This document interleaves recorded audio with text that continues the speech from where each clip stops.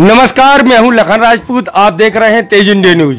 Corona virus के संक्रमण के चलते जब भारत के प्रधानमंत्री नरेंद्र मोदी के द्वारा जनता से अपील की गई थी कि अपने शरीर की इम्यूनिटी पावर बढ़ाने के लिए आयुष मंत्रालय से संपर्क करते रहे। जो भी जिला जिला में जिला चिकित्सालय आयुर्वेदिक, उनसे इम्यूनिटी पावर बढ़ाने के लिए दवा लेते रहे। तो छतरपुर में एक समाज सेवी गिरजा पाटकर जी जो लगातार एक काढ़ा बनाते हैं, जिससे शरीर की इम्यूनिटी पावर बढ़ती है और कोरोना वायरस के अलावा अन्य वायरस, जो अन्य बीमारियाँ पैदा करते हैं, उनसे शरीर में सुरक्षा होती है। और वो इस काढ़े का स्वयं उपयोग कर रहे हैं और लोगों को भी इसके बारे में बता रहे हैं। आज हम उनसे सीधी मुलाकात करने के लिए आज पहुँचे हैं ताकि आम जनमानस तक भी ये कैसे काढ़ा बनता है, इसमें क्या क्या मिलाया जाता है, इसकी जानकारी आप तक पहुँचे। तो हम जानना चाहेंगे आपके मन में सबसे पहले कहाँ से आया था कि ये काढ़ा कैसे बनाया जाए और ये आप जनता को जागरूक भी कर रहे हैं, इस बारे में हम सबसे पहले जानना चाहेंगे। और सबसे पहले तो हम तेज इंडिया न्यूज़ का धन्यवाद करना चाहते हैं क्योंकि जो भी हम जनता से जुड़ी हुई कोई बात होती है तो वो ख़ास तौर से आगे आकर और दिखाते हैं। मैं बताना चाहता हूँ कि हमारे मन में ये तब आया जब महा, हमारे माननीय प्रधानमंत्री नरेंद्र मोदी जी ने ये इस बात का ज़िक्र किया था इस बार जब सेकेंड लॉकडाउन में करने के लिए वो संबोधित कर रहे थे। अपनी इम्यूनिटी बढ़ाने के लिए आयुष मंत्रालय द्वारा जो निर्देश दिए गए हैं, उसका अगर हम पालन करें, गर्म पानी है, काढ़ा है, इनका निरंतर सेवन करें। इम्यूनिटी बढ़ाने के लिए ये काढ़े का उपयोग होता है उस काढ़े में करीब नौ नौ दस चीज़ें रहती हैं। उसको अपन उपयोग करते हैं तो अपनी इम्यूनिटी इम्यूनिटी यानी रोग प्रतिरोधक क्षमता भी बढ़ती है शरीर की, और अन्य छोटे मोटे रोग भी नहीं आते हैं।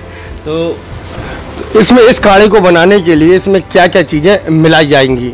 और ये कैसे बनता है? कितनी मात्रा में कौन कौन सी चीज़ मिलाना मिलाना चाहिए? वैसे तो सारी चीज़ें अपने घर में ही उपलब्ध होती हैं, लेकिन हम बताना चाहते हैं कि इस काढ़े में क्या क्या उपयोग होता है। आप देख सकते हैं कि ये सौंठ रखी है। ये 50 ग्राम हम लोगों ने सौंठ ली है। और इसके बाद इसमें दालचीनी है। ये 50 ग्राम दालचीनी है। और इसके बाद ये सौंफ है। जो बड़ी सौंफ होती है, दो प्रकार की सौंफ होती है, ये बड़ी सौंफ है, जो मसालों में काम आती है। इसके बाद ये लौंग है पचास ग्राम। इसके लौंग लौंग का उपयोग होता है इसमें, और उसके बाद लाइची है। लाइची का भी उपयोग इसमें करते हैं, और उसके बाद ये काली मिर्च है, जिसको हम ब्लैक चिली कहते हैं, और ये जीरा है। ये सात, आठवां आठवां मसाला जो है वो जीरा है, और ये है हल्दी, ये बहुत महत्वपूर्ण चीज़ है। सारी चीज़ें 50-50 ग्राम अपन को डालना है और ये हल्दी जो है, हल्दी अपन को 100 ग्राम। इन सभी चीज़ों को एक साथ, एक एक आपको खलबट्टे से वो करके, कुचल के और इनको तवे में डालकर इनको सेकना है। जब इनकी नमी खत्म हो जाए मसालों की, उसके बाद अपन को सारे चूर्ण को एक मिक्सी के ग्राइंडर में पीसना है और इसका चूर्ण बनाना है। चूर्ण बनाने के बाद फिर इसको कैसे उपयोग कर सकते हैं हम? अब हम आपको बताना चाहते हैं। इसको उपयोग अपन को ऐसे करना है कि गुड़ गुड़ के पानी, गुड़ पहले पानी डालना है, जैसे चाय बनाते हैं ना अपन तो गुड़ डालना है उसमें पानी में। और जितना अपन को उपयोग करना है, दो कप, चार कप, पाँच कप छः कप, जितना भी उपयोग करना है तो जितना कप आपको उपयोग करना है, उससे आधी मात्रा में अपन को ये चूर्ण डालना है। और डबल मात्रा में गुड़ डालना है, जिससे कि ये आपको ठीक ठाक स्वाद में भी कड़वा ना लगे।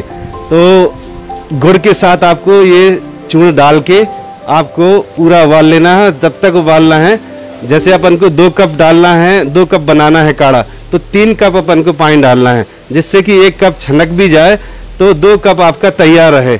और जैसे ही आपने चूर्ण डालना है, उसके बाद थोड़ी देर बाद अपन को पाँच छः तुलसी के पत्ते डालना है। ये ये समझ लो संजीवनी है। ये बहुत मतलब अपने आयुर्वेदिक में भी कहा गया है, तुलसी का पत्ता हर एक बीमारी के लिए बहुत अच्छा होता है। तो ये तुलसी का पत्ता डालना है। ये काढ़े में जो आप देख रहे हैं कि इस पीला दिख रहा है ये काढ़ा, क्योंकि इसलिए दिख रहा है इसमें डबल मात्रा में इसमें हल्दी डाली गई है। हल्दी इतनी गुणकारी होती है, आपके हर रोग में काम आती है हल्दी। आपने सुना होगा जो हमारे आयुर्वेदिक आचार हैं उनका उनका कहना होता है कि हल्दी का दूध अगर प्रतिदिन अपन रात में सेवन करते हैं तो बहुत फ़ायदा करता है अपने शरीर के लिए। इसलिए हल्दी का हमारे उसमें बहुत उपयोग है। तो आप सभी लोगों ने ये काढ़े का कैसे बनाना है, अभी तक आपके मन में ये चल रहा होगा कि हम काढ़े का काढ़े का ज़िक्र तो किया है प्रधानमंत्री ने, लेकिन ये किन किन चीज़ों से बनता है, ये अभी जानकारी लोगों को नहीं थी। ये जानकारी हम आप सभी को बताने के लिए आज बता रहे हैं। जिससे कि आप काढ़ा घर पे बना सके और इसका उपयोग कर सके।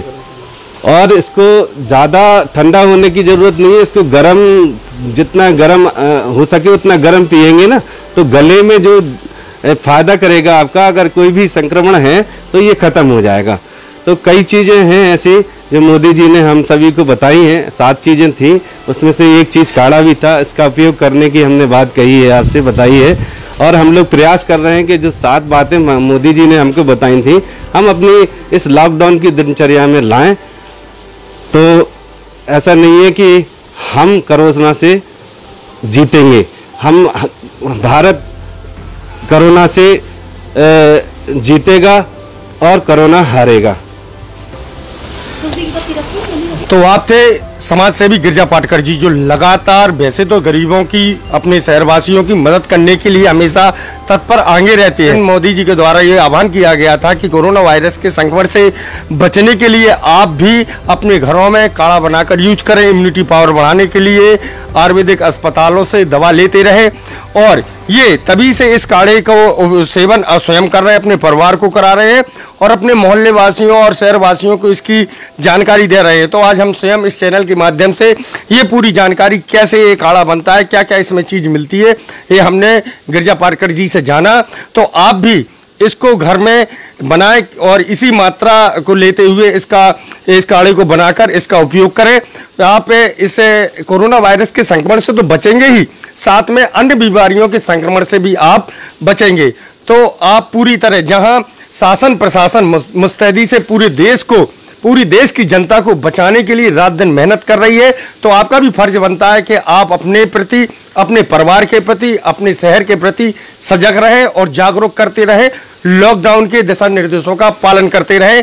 तो हम अगली बार पुनः एक नई चीज़ के साथ आपके सामने उपस्थित होंगे। तब तक आप हमारे साथ बने रहें। छतापुर से तेज इंडिया न्यूज़ के लिए लखर राजपूत के साथ कैमरामैन पिंटू सिंह।